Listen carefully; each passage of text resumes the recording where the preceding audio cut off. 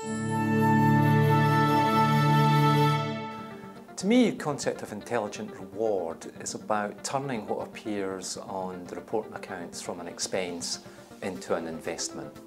So if I can configure a reward package and give my employees the opportunity to extract genuine additional value from their package that goes beyond the investment that we're putting into that package uh, as an employer, then I believe that can go some way towards furthering the engagement of those employees with the organisation, uh, which in turn I actually believe can help us as an organisation drive our bottom line performance.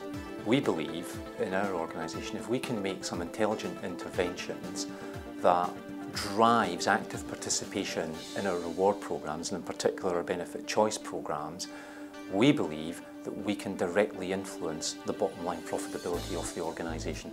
So in terms of rolling flexible benefits or benefits choice out internationally, um, I, I, would, I, I, would give two strands of advice to, to anybody who's contemplating that.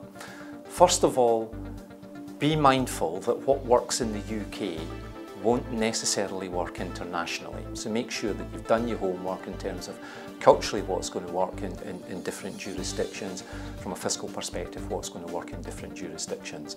Uh, but the second piece of advice that I, I would suggest is um, set the bar high. Be prepared to push the boundaries. Don't accept at face value the fact that you can't do certain things. Make sure you work to push the boundaries.